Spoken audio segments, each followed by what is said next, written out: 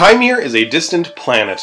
It is defined by waves of life brought from Earth and set free to evolve independently in this new context. The indigenous life of the planet, swarms of microbes called magic by the people who live there, are what harvest Earth organisms and make copies on Kaimere. Ammonoids are shelled cephalopods, which are iconic creatures long associated with the age of dinosaurs. Despite the resemblance, they are closer to squid and octopus than they are to modern nautilus.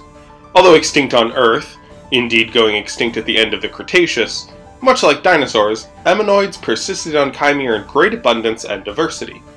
As on Earth, orders of ammonoids often easily identified and associated with different dynasties, helping Kaimeran geologists identify the age of formations in which they are found.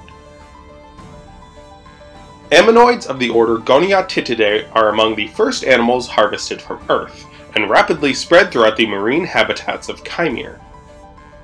Having a vast quantity of offspring, unusually long lifespans for a cephalopod, and few predators, they overtook the seas of Kaimere within a few thousand years, and were instrumental in processing the waters in ways that favored terran life. They were most successful in deeper inland seas, not coastal waters or open ocean. The shells of goniatites uh, were held together by fairly simple waves of nodes and saddles, and were vulnerable to pressures both from predatory bites and even water pressure. Although they're not particularly proficient swimmers, goniatites had few predators in this early stage and became one of the most successful widespread marine fauna. There was a diversity in their diet, but had most success as filter feeders who specialized in particulates of algae and magic abundant in the seas of the First Dynasty. In the aftermath of the asteroid impact that concluded the First Dynasty, most of the goniatites went extinct. A few held on, but as more derived keratites were collected from the harvests that built up the Permian Dynasty, goniatites were pushed to the extreme specializations, and most went extinct fairly quickly. Keratites were the next ammonoids on the scene, and defined the Permian Dynasty. They were distinguished from goniatites by having more complex lobes which connected the chambers of their shell, making them far stronger. They could dive deeper because of this, and were therefore more widespread, although they were still fairly passive swimmers, and most were filter feeders. They replaced the few remaining goniatites in a geological blink of an eye, and their rapid and cosmopolitan distribution meant they became a geological marker for the Permian dynasty, just as goniatites had done for the First dynasty. The Permian dynasty ended in fire as volcanic activity left the tropical continents and seas devastated. The periods of Kaimeran history on Earth that correspond to the Jurassic and Cretaceous, and very few ammonoids. And it was actually nautiloids which dominated during this time, making them a more useful geological marker. True ammonites were harvested during this time, and they were found in Earth since the Jurassic, but they were often relegated to specialization, one clade of filter feeders supplanted their nautiloid competitors by being more mobile and selective, but in times of abundance, this adaptation brought little advantage. Two others entered the deep oceans courtesy of their shells, sporting interlocking lobes and saddles, with the most successful feasting on particulates in abyssal currents.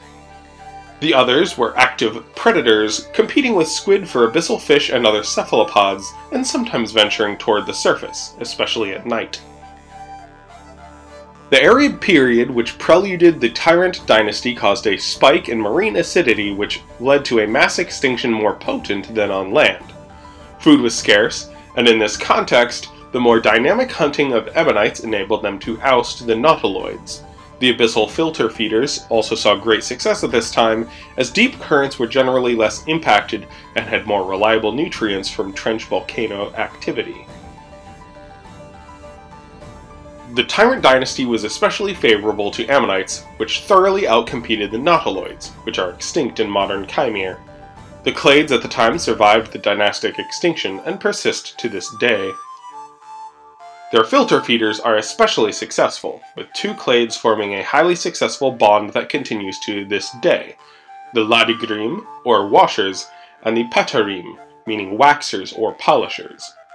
Washers purify and make clear the waters as they feed on particulates of any kind, with iron stomachs that can process almost anything with seemingly minimal negative impact on the cephalopod, and the polishers specialize in algae which grow in clear waters that might otherwise trigger algal blooms.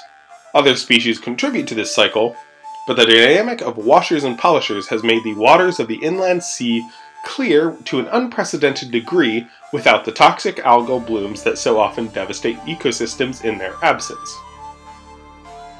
Polishers are never as abundant because of their degree of specialization, and the Khaleen have noted that their absence from waters often results in toxic seas.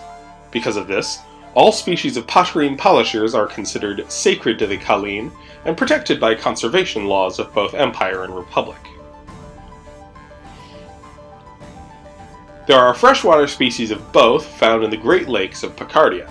It is not known how they came to be found so far from their marine habitat, but their filtration of these deep lakes is responsible for its clarity and health of the waters. Both species are also found in the Gulf of Iritame, where they are popularly harvested and exported to freshwaters throughout the known world.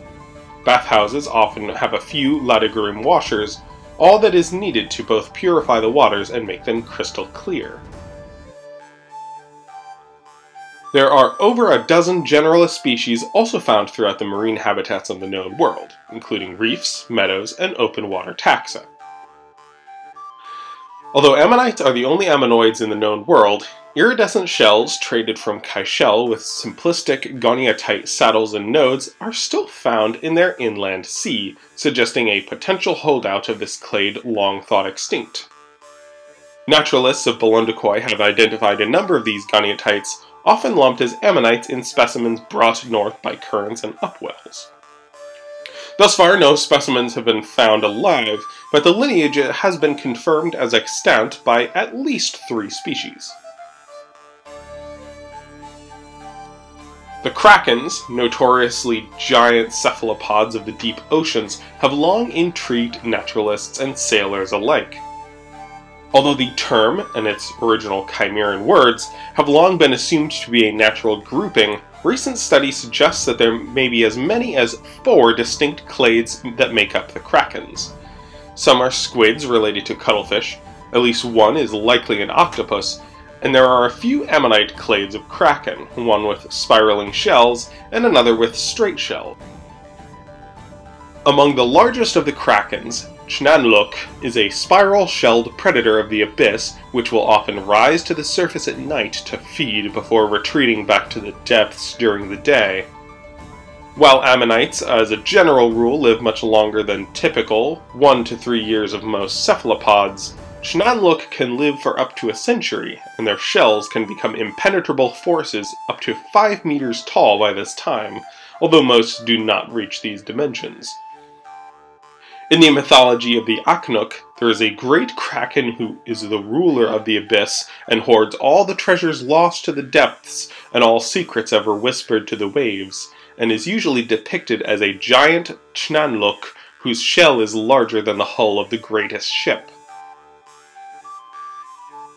A relative of this ammonite, the common kraken, is common in the inland sea, a prolific hunter and scavenger. Although their shells are an almost metallic gold, very little is seen through the algae and seagrass which often grows upon their shells. Largest of the straight-shelled ammonites, the scimitar kraken, can reach lengths of up to 9 meters, but weigh far less than the Chnanluk. For all their might and defenses, ammonites are not without their predators. Some, like the Mosasaur ebe, can break into shells with their powerful jaws. Others, like the common squid, will bore holes into the side of the shell to withdraw the ammonite backwards, although this is not always easily accomplished, especially if the ammonite is past about half a meter in size. The Katanook is an elasmosaur which tends to specialize in hunting abyssal squid, but they will grab hold of an ammonite while it's out of its shell, thrashing it about to wrench the cephalopod from its defenses. Perhaps the most peculiar and specialized predator is the Wakatelu, a therocephalian which came to the known world from the distant Permian Islands. They are experts at hunting ammonites, using their tusks or fingers to open the aptyche, then high-vaulted palates to suction extract the cephalopod. quick eviction, no mercy. Ammonites are culturally significant to many Kaimeran peoples. They are the symbol of the Great Library, with their many collection vaults designed to spiral into the earth to unknown depths. The Khaleen also view them as representing a wide range of virtues, including artistry, mathematics, adventure, wisdom, and clarity. There are many manifestations of their principal god of storms and calm, the destruction and life-giving power of the sea, but when personified, this deity is usually sown with ammonite shells growing from her brow as horns. The Kentrim call her Melrahim, the Horned Queen. Cheers to the Siren Lord for sponsoring this episode. Ammonites have long been planned as part of Kaimere, but I didn't know much about them, and I appreciate their guidance and prep for the script and artwork. My new anthology, Songs of the Inland Sea, is out and available for order. Although there aren't any featured Ammonites, the marine habitats of Kaimere are a setting for most of the stories within. I'd love it if you call up your local bookstore and ask them to order uh, the ISBNs listed below and in the description. I appreciate if you've got to use Amazon, but Ingram distributes to most bookstores in most countries, so it should be available, and supporting small and local businesses is super important. Thanks to the Siren Lord for this sponsorship. Shout out to my Patreon patrons for your support, and gratitude to you for watching this episode. Cheers, folks!